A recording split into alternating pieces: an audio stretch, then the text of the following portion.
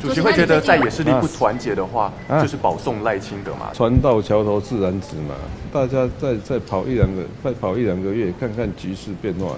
还是那句话的，其实政治人物也是被民意驱动。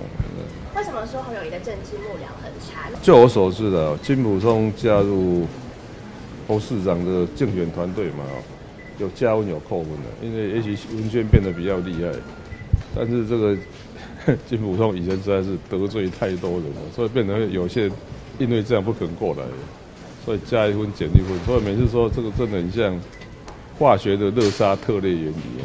在有要规划要去出访美国吗？紧接在赖清德之后。啊，这个有在考虑的。那大概在什么时间？还就还在想而已啊。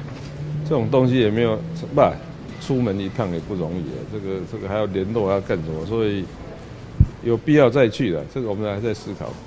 主席，那你之前说中共如果从金厦大桥登陆就把桥炸掉，这是认真的吗？不是。以前有人说盖金厦大桥嘛，啊，就一大人讲说，哇，这个是吴三桂啊，这个哇制造敌人的通路。我心里面在想说，哎，这个是完全没有军事常识，一条桥要炸掉还不容易，所以为什么盖那条桥就会让共军什么长驱直入金门，我都不想听了。